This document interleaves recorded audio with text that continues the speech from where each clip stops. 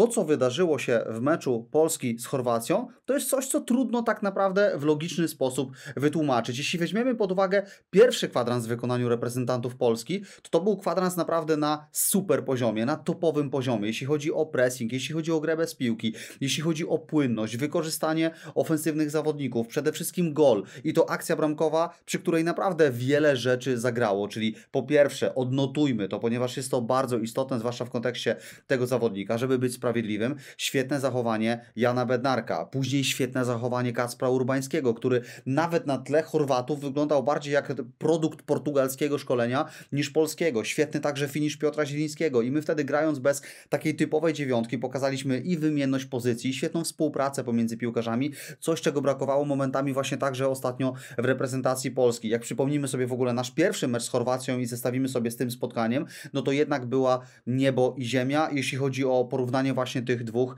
e, spotkań. No i co się wydaje? Oglądamy ten pierwszy kwadrans, gdzie e, znów widzimy bardzo dużą odwagę, a to też nie było takie oczywiste, że reprezentacja Polski po takim meczu z Portugalią, gdzie oczywiście Michał Probierz z wielu rzeczy był zadowolony, natomiast tak naprawdę to nie było dobre spotkanie w wykonaniu naszej drużyny narodowej, no i można się było obawiać o to, czy reprezentacja Polski trochę jednak tego charakteru nie straci, czy trochę tej pewności siebie nie uleci, że skoro zostaliśmy pod pewnymi względami zdeklasowani przez Portugalczyków, jeśli chodzi o samą ogładę na boisku, taką kulturę gry, to czy Polacy trochę w siebie nie zwątpią? No i wychodzimy na, na Chorwatów i rozgrywamy naprawdę bardzo dobry pierwszy kwadrans. No a później znowu dzieją się jakieś totalnie chore, nieprzewidywalne rzeczy, czyli znów mamy totalnie inne ekstremum. Drugi biegun. Przenosimy się od euforii aż do totalnej depresji, do totalnej rozpaczy i w ciągu 7 czy 8 minut tracimy trzy gole. I tak naprawdę, jeśli zerkniemy sobie nawet na ten drugi kwadrans, powiedzmy, albo ten fragment, kiedy my traciliśmy właśnie te trzy gole, to też nie było tak,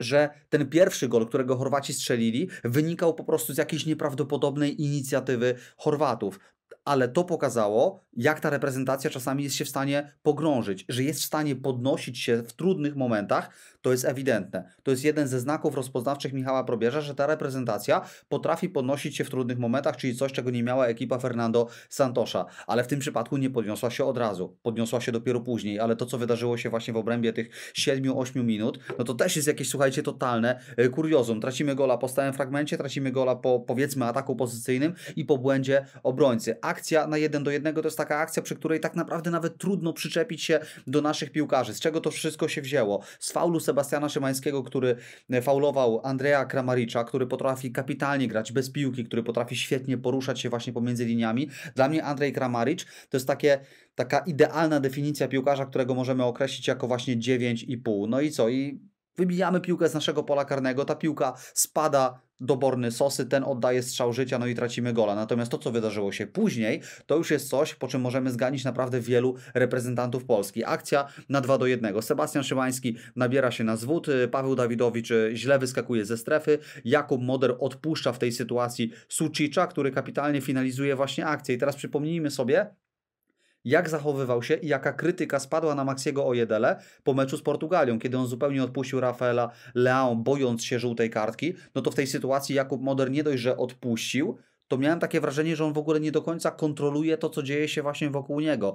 A jeśli ktoś ma grać na pozycji defensywnego pomocnika, to nawet jeśli nie będzie tytanem fizycznym, Jakub Moder generalnie warunki fizyczne ma bardzo dobre, warunki szybkościowe także oczywiście ma kapitalne. Natomiast kluczowa tak naprawdę jest taka orientacja w terenie, czyli nie tylko to, czy ty jesteś kolosem, nie tylko to, czy ty jesteś w stanie się ścigać, ale przede wszystkim, czy ty w każdym momencie jesteś w stanie orientować się w terenie. Coś na ten temat może powiedzieć nawet y, Kozak w porównaniu do naszych piłkarzy, czyli właśnie Aurelien Chouameni. No i w tej sytuacji Moder nie zagrał po prostu jak na szóstkę przystało, nie oszukujmy się. W ogóle, jeśli chodzi o Kubę Modera, to mamy w przypadku reprezentacji mm, piłkarzy, po których kompletnie nie widać braku regularnej gry w klubach, natomiast moim zdaniem Moder grający regularnie, to będzie jednak zupełnie inny piłkarz. On dopóki nie gra regularnie, czasami będzie właśnie raził nonszalancją, czasami brakiem właśnie jakiegoś takiego podręcznikowego zachowania, tak jak właśnie w tej sytuacji, kiedy zupełnie stracił z radaru e, Sucicza i jestem przekonany, tak mi się wydaje, patrząc na jego dotychczasową karierę, że jeśli on on znajdzie klub, w którym będzie regularnie występował, nawet jeśli to nie będzie Premier League, to może być Championship, to może być jakaś inna liga,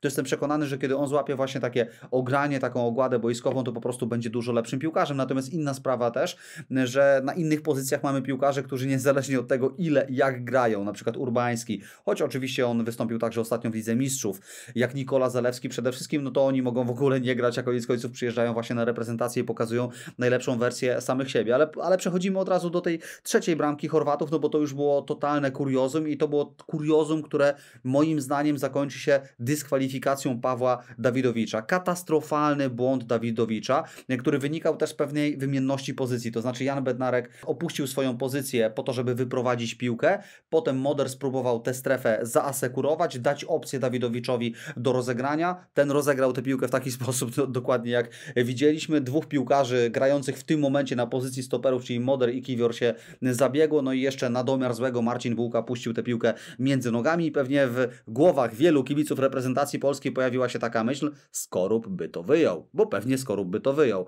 Ale po takim meczu też Marcin Bułka zasługuje koniec końców na wysokie oceny, bo interwencje Bułki z drugiej połowy z kolei, no to momentami była po prostu klasa światowa. Interwencja po strzale z dystansu Luki Modrisza, interwencja po strzale Matanowicza, tam był jeszcze rykoszet, interwencja taka na refleks, także po stałym fragmencie po strzale Budimira. Zebrał taki hatryk kapitalnych parad właśnie także Marcin Bułka, który nawet jeśli wywołał pewne wątpliwości, przede wszystkim właśnie nieudaną interwencją w tamtej sytuacji, kiedy ta piłka poleciała właśnie pomiędzy jego nogami, to nadrobił to wszystko naprawdę z mega nawiązką w drugiej połowie. I e, jeśli chodzi o Pawła Dawidowicza, oczywiście przy tym piłkarzu trzeba na pewno się zatrzymać, ponieważ e, to jest zdecydowanie antybohater tego meczu. To jest piłkarz, który maczał palce właśnie w tych akcjach bramkowych i który po prostu jest nieporadny. Jest to oczywiście niepokojące o tyle, że przypominając sobie okres z Mistrzostw Europy, to jednak Michał Probierz bardzo liczył na tego piłkarza. Probierz liczył, że Paweł Dawidowicz stanie się ostoją naszej defensywy. Może nie, że będzie kimś takim jak e, Kamil Glik, że będzie tym długo wyczekiwanym następcą Kamila Glika, ale że będzie kimś, kto wniesie taką stabilność do gry obronnej. Taką nadzieję miał Probierz i moim zdaniem Dawidowicz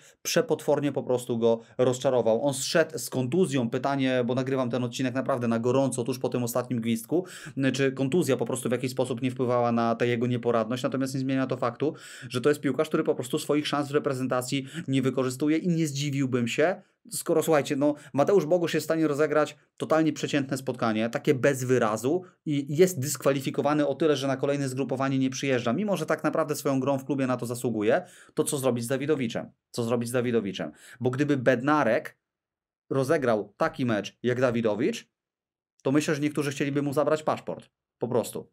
A Bednarek w tym meczu naprawdę zaliczył sporo bardzo fajnych momentów. Bez Bednarka nie byłoby tego pierwszego gola. I ja wiem, że Bednarek ma za sobą nieudane spotkanie, to poprzednie z Portugalią, ale tutaj takich minusów na pewno bym nie stawiał i naprawdę warto zwrócić na to uwagę na cały ten okres w karierze Jana Bednarka, bo to nie jest tak, że to jest gwiazda reprezentacji Polski, ale moim zdaniem, patrząc ogólnie, żeby być sprawiedliwym, jest lepiej. Jan Bednarek jakiś czas temu w kanale Zero opowiadał, że cokolwiek zrobię w tej reprezentacji, ludzie będą mnie krytykować. Być może tak, ponieważ jeśli przyklei się do ciebie pewien stereotyp, to potem trudno go będzie odkleić. Ale teraz Dawidowicz pracuje na taki negatywny stereotyp, a Bednarek tak powolutku, powolutku próbuje go odklejać i naprawdę warto to zauważyć, żeby być sprawiedliwym właśnie wobec tego zawodnika. No i skoro już mówimy o Dawidowiczu, to bardzo fajne wejście do tej reprezentacji zanotował, zaliczył także Kamil Piątkowski, który no, wniósł tutaj naprawdę spory skok jakościowy względem Pawła Dawidowicza. Ktoś powie, to nie było takie trudne, no bo Dawidowicz wyglądał tragicznie, ale tak czy inaczej Kamil Piątkowski wyglądał z kolei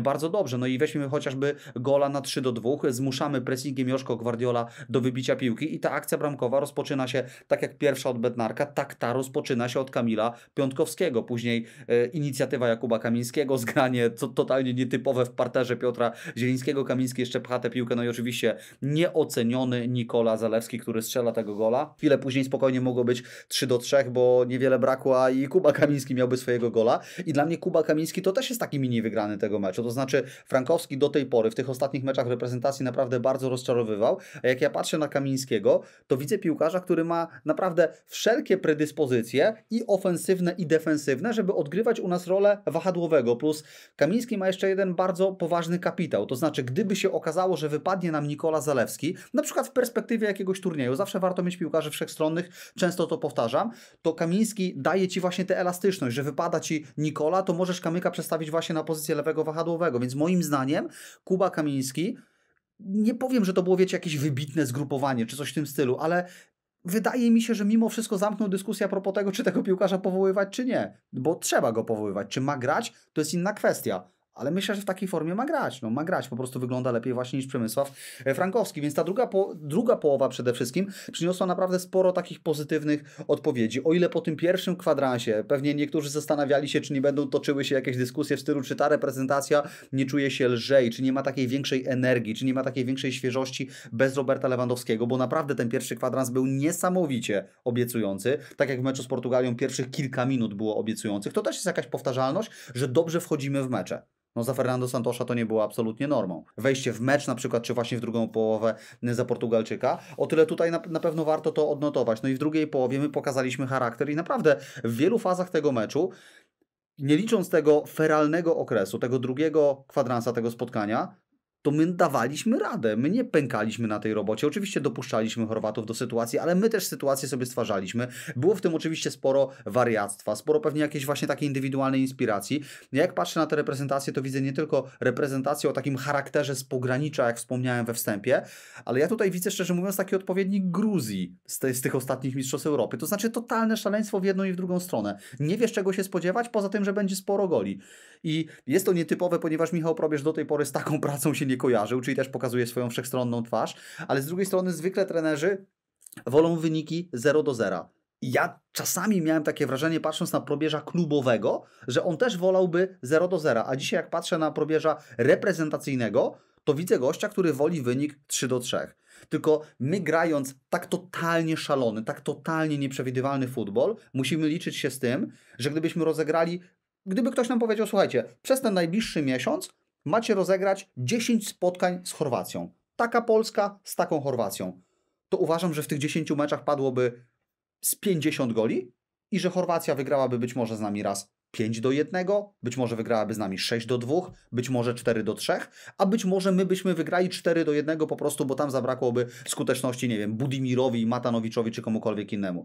Ta reprezentacja gwarantuje, bardzo duże emocje. Emocje w jedną stronę i emocje w drugą stronę. Ale wyszedłem tutaj od tematu Roberta Lewandowskiego. Wiecie, co jest symptomatyczne, jeśli chodzi o reprezentację Polski po tym meczu z Chorwacją? Oceńmy sobie ofensywnych piłkarzy reprezentacji. Robert Lewandowski wchodzi, no i ma udział w akcji bramkowej. I jeszcze wywalczył czerwoną kartkę po mega hamskim faulu Liwakowicza. Piotr Zieliński z golem. Sebastian Szymański z golem. Karol Świderski sporo pracy, też sporo jakichś takich błędów technicznych dziwnych w pierwszej połowie, ale idziemy dalej. Kacper Urbański jak najbardziej na plus. W przypadku Świderskiego oczywiście byłoby najwięcej wątpliwości.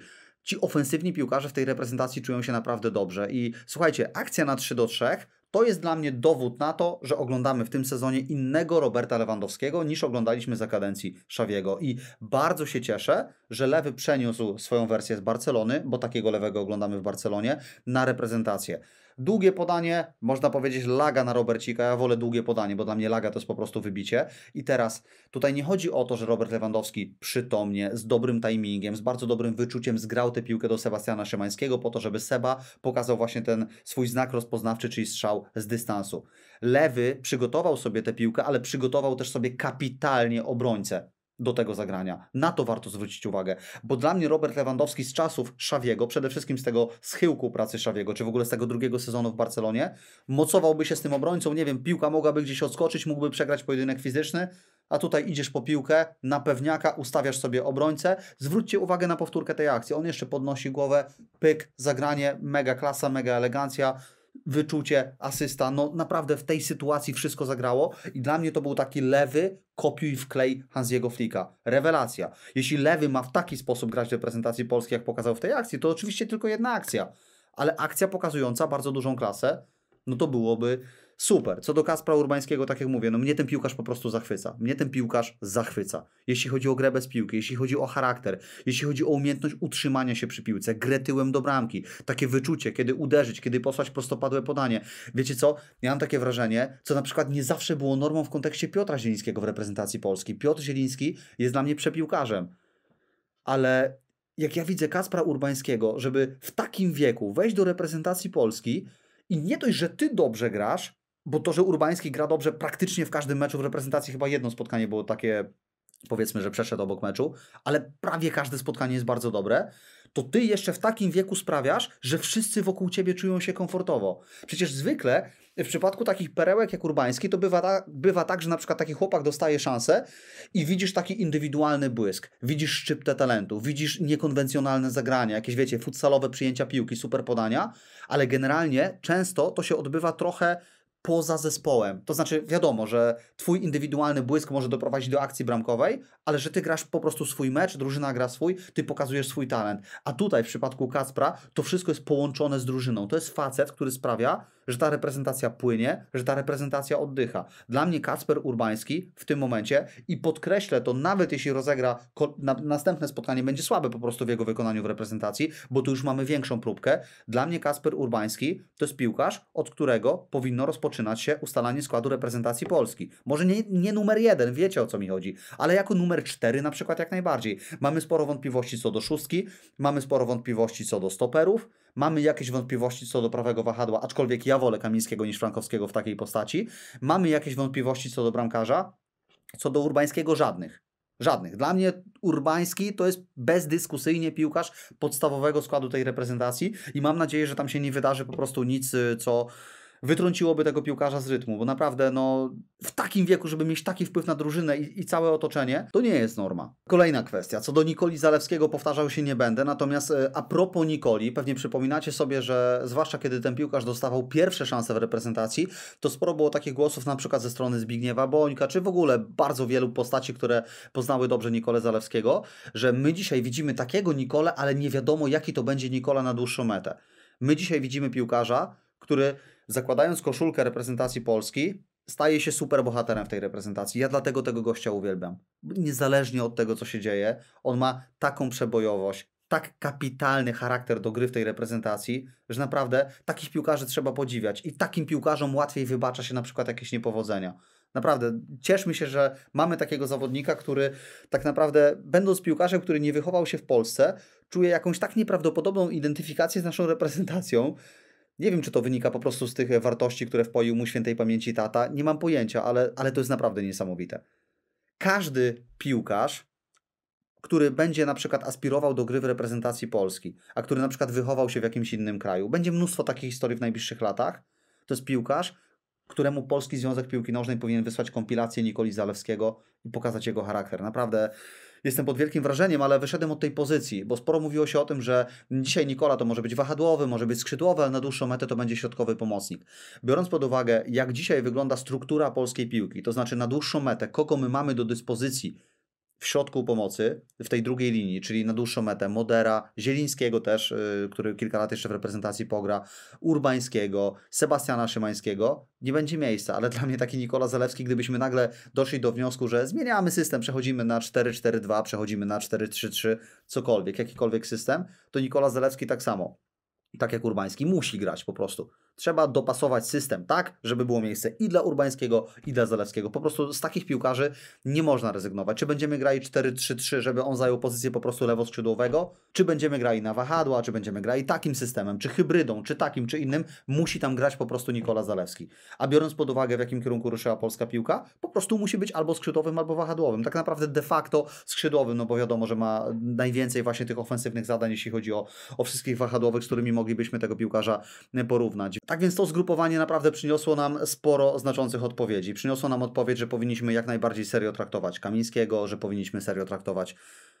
Kamila Piątkowskiego, że Kacper Urbański bezdyskusyjnie piłkarz pierwszego składu, ale tych znaków zapytania, jeśli chodzi o samą organizację gry, jest bardzo dużo, ponieważ nie ma co ukrywać, że obronę to my cały czas mamy z plasteliny. Że u nas może być ta euforia, jeśli chodzi o grę do przodu, choć z Portugalią wcale tak nie było, ale jeśli chodzi o grę do tyłu, jak rywal się rozpędzi, to nie ma czego zbierać. Czy Kamil Piątkowski okaże się panaceum na nasze problemy? Mieliśmy taki przemiał tych wszystkich środkowych obrońców, że niestety obawiam się, że wątpię. Jakkolwiek to nie brzmi dobrze po polsku. Natomiast wierzę w tego piłkarza o tyle, że zawsze o tym mówiłem, że od kiedy on się w ogóle pojawił w tej poważnej piłce, od czasów Rakowa, zawsze wydawało mi się, że to jest materiał na kompletnego stopera. I podejrzewam, widząc jak układa się kariera Kamila, że on zaliczy jeszcze kilka jakichś takich, wiecie, w top w tej reprezentacji. One przytrafiają się każdemu obrońcy, ale spośród chyba wszystkich stoperów, których w tym momencie widzimy w reprezentacji, spośród wszystkich stoperów, którzy przez te reprezentacje się przewijają, obok Kiwiora, to jest dla mnie obrońca, który ma największy potencjał. To jest tylko moja ocena, ale wydaje mi się, że ma też większy potencjał na przykład niż Walukiewicz, ale kto wie, być może na dłuższą metę okaże się, że, że będziemy mieli kiedyś na przykład taką trójkę jak Walukiewicz, Piątkowski i Kiwior. W tym momencie w zasadzie, słuchajcie, niezależnie od tego, jakie personalia my tam stawimy, ta obrona przecieka. No my mamy obronę z plasteliny i nie mam na myśli samej linii defensywnej, ale przede wszystkim właśnie te rozwiązania systemowe. Po prostu ta reprezentacja, jeśli chodzi o grę w obronie, nie jest poukładana i nie ma co ukrywać, że to jest jakiś zarzut do selekcjonera. I oczywiście wokół reprezentacji wywiązała się też taka dyskusja a propos pewnego rozdźwięku pomiędzy słowami Roberta Lewandowskiego po Portugalii, a deklaracjami Michała Probierza. No i mam tutaj przed sobą cytat ze sport.pl z Roberta Lewandowskiego. Brakowało takiego doskoku, jaki powinien być, ale wynikało to właśnie z tego, że tak się cofaliśmy. Czasami szwankuje u nas dojście do pressingu, w którym momencie, kiedy kto powinien wyskakiwać. To samo dotyczy liczby zawodników podchodzących do ofensywy. Czasami mamy chyba hamulec ręczny, przepraszam, przez to nie ma później opcji z przodu. I abstrahując od tego, że mieliśmy pewny pewien rozdźwięk pomiędzy słowami probierza, który bardzo wiele właśnie mówił o tej odwadze, który chwalił reprezentację po meczu z Portugalią, a taką chłodną, szorstką oceną Roberta Lewandowskiego, to nie oszukujmy się, i mówiąc zupełnie obiektywnie, zupełnie bez emocji, jeśli jakiś piłkarz mówi wprost, a lewy mówi to wprost, że pressing nie jest dobrze zorganizowany, czasami szwankuje u nas dojście do pressingu, to jest to kamyczek do ogródka selekcjonera. I to nie jest w tym momencie atak z mojej strony w kierunku selekcjonerza, tylko de facto Robert Lewandowski na to zwraca uwagę. Jeśli jakiś piłkarz drużyny X, czy będzie to Jagiellonia Białystok, czy będzie to Piast Gliwice, e, czy będą to Karpaty Krosno, powie, że mamy pressing niewłaściwie zorganizowany, to w poważnych klubach to się odczytuje jako szpilkę wbitą trenerowi. Więc to na pewno trzeba zorganizować, bo sami piłkarze, skoro mówi o tym lewy, zwracają na to uwagę, że to jest rzecz do dopracowania. I w poszczególnych fazach poszczególnych meczów to wygląda ok. Tak jak mówię, no tutaj na przykład zmusiliśmy Guardiola do wybicia, później dobrze zareagował Piątkowski, strzelamy gola. W meczu z Portugalią także po wysokim odbiorze jesteśmy w stanie strzelić gola. Natomiast jest mnóstwo do poprawy, jeśli chodzi o grę w obronie, dlatego mamy reprezentację pełną takiego heroizmu, mamy reprezentację mimo wszystko naprawdę z dużym charakterem, z bardzo dobrym charakterem, czego brakowało za Santosza, ale mamy reprezentację, jeśli chodzi o grę w obronie, zdezorganizowaną i to musimy poprawić i to jest rzecz, za którą odpowiada trener. Nie chodzi mi w tym momencie o to, żeby tutaj, wiecie, organizować jakiś atak na probierza, totalnie nie. Ale zawsze gra w obronie, organizacja gry w obronie, organizacja przejścia z ataku do obrony czy tego pressingu, to jest poletko trenera. Czy mówimy o reprezentacji, czy mówimy właśnie o Karpatach Krosno. Zawsze to będzie właśnie poletko trenera. Pozdrawiam trenera Karpat Krosno. Jeszcze jedna kwestia wokół tej reprezentacji. Nie będę tutaj nagrywał oddzielnego odcinka, zwłaszcza, że mam ponagrywanych kilka ciekawych wywiadów i materiałów będzie sporo na tym kanale. Mam takie wrażenie, że wokół Maxiego Ojedele w ostatnich dniach zapanowała jakaś absurdalna głupawka. To znaczy głupawka z zasady może być absurdalna, ale ona była wyjątkowo absurdalna. To znaczy Kuba Wawrzyniak, czyli ekspert, którego ja bardzo cenię, ekspert bardzo inteligentny, taki spokojny, wyważony, taki ekspert, który naprawdę bardzo mi pasuje i, i lubię go słuchać, lubię wywiady z nim i tak dalej. Chcę, żeby to wyraźnie wybrzmiało, ponieważ mam bardzo pozytywne podejście, bardzo pozytywny stosunek do Kuby Wawrzyniaka. Powiedział po tym pierwszym meczu w swoim stylu, w naprawdę wyważonym stylu, że Maxi Ojedele przeszedł obok meczu. Czy to była teza kontrowersyjna? Moim zdaniem nie. Że on nie pamiętał takiego piłkarza, który tak przeszedłby właśnie obok meczu. Ale słuchajcie, no tak było. I potem Kuba Wawrzyniak, nie chcę powiedzieć, że wycofuje się z tych słów, ale przeprasza, że to było bez klasy. Dzwoni do Michała Probierza. Ja mam takie wrażenie, że idziemy z tym wszystkim za daleko. No jeśli jakiś piłkarz rozegra słabe spotkanie, przejdzie obok meczu albo obok Rafaela Leão, możemy o tym powiedzieć. Nie ma w tym nic złego, to nie jest brak klasy. Mamy innych ekspertów, którzy niekiedy wykazują się brakiem klasy, ale Kuba Wawrzyniak nie zrobił tutaj, moim zdaniem, niczego złego. To, że potem jeszcze przeprosił, to w jakiś sposób oczywiście świadczy właśnie o jego klasie, że pewnie się zastanowił. Po, pojechałem za bardzo, jednak też grałem w tej reprezentacji. Zrobił jakiś rachunek sumienia, ale moim zdaniem taka dodatkowa refleksja nawet w tej sytuacji nie była potrzebna. Bo oczywiście wokół Ojedele wywiązała się jakaś głupia dyskusja, czyli wiecie, od ściany do ściany on rozegrał słaby mecz ale jest wielce utalentowanym piłkarzem, z którego naprawdę możemy mieć sporo pożytku. Jeśli ktoś kwestionuje Ojedele po meczu z Portugalią w takiej dalekiej perspektywie, że po takim meczu z Portugalią mamy tak młodego piłkarza o tak niewielkim doświadczeniu skreślić, że on się nie nadaje, to taka osoba jest po prostu głupia. No to tego się nie da w logiczny sposób wytłumaczyć. Ale też jeśli Ojedele przechodzi obok spotkania, to można to powiedzieć i to wcale nie świadczy o tym, że komuś zabrakło klasy.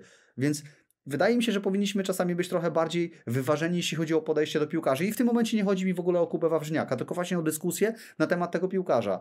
Nie szukajmy kozłów ofiarnych, jeśli nie ma potrzeby po takim meczu z Portugalią. Po meczu z Chorwacją kozłem ofiarnym będzie Paweł Dawidowicz, bo to były indywidualne błędy, indywidualne złe decyzje, które raz za razem ten piłkarz podejmował. Więc tutaj do pewnego stopnia ten kozło ofiaryzm jest nawet uzasadniony. Oczywiście nie tylko on popełniał te błędy, żeby to było jasne. Natomiast jego błędy były najbardziej jaskrawe i kompromitujące. Ale o Jedele, no miejmy umiar. Przecież tak naprawdę to, że ten Ojedele rozegrał słabe spotkanie z Portugalią jest czymś totalnie logicznym i nie ma w tym niczego ani bulwersującego, ani niczego szokującego. Czy to na dłuższą metę każe nam jakiegoś piłkarza przekreślać? No ludzie, u nas piłkarze potrafili rozgrywać 40 słabych spotkań w reprezentacji i potem na te reprezentacje przyjeżdżać, więc jeśli ktoś nie kompromituje się tak definitywnie za każdym razem, a ten chłopak stawia pierwsze kroki, to po pierwsze, nie ma nic złego w powiedzeniu, że piłkarz przeszedł obok meczu, bo to był inny Ojedele niż w Legii. Być może trochę też ta wielka scena go przygniotła, co też byłoby totalnie naturalne i logiczne, ale no też nie idźmy w drugą stronę, więc tak jak mówię, zapanowała jakaś taka dziwna dyskusja wokół Ojedele.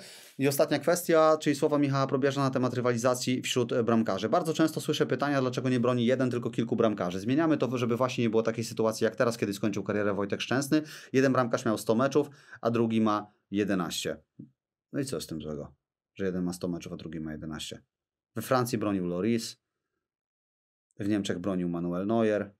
Jeśli nie masz pewniaka, na przykład jak Hiszpania miała taką debatę, teraz też będzie Simon kontra Raja, no to będzie, będzie dyskusja, ale co to jest za argument, że jeden ma 100, y, że jeden ma 100 meczów, a drugi 11? Więc jeśli chcemy być konsekwentni, widząc te słowa, to powołujmy też Kamila Grabarę i rozdzielajmy porówno. Jeśli chcemy być sprawiedliwi w stosunku do bramkarzy, to, skorup to, bułka to, grabara to. Potem skorup to, bułka to, grabara to. Jeśli chcemy być sprawiedliwi w ocenie bramkarzy, to każdy z nich zasługuje na to, żeby dostać po sztuce, jeśli będą zgrupowania z trzema meczami. Dziwne argumenty, że jeden bramkarz nie może mieć 100 meczów, a drugi 11. Jeśli ktoś jest wybitny, to może mieć 100 meczów. I tyle. Koniec, koniec. Sporo tych wątków wokół reprezentacji. Może jeszcze coś nagram na dniach, ale na pewno będzie sporo wywiadów. Trzymajcie się, hej.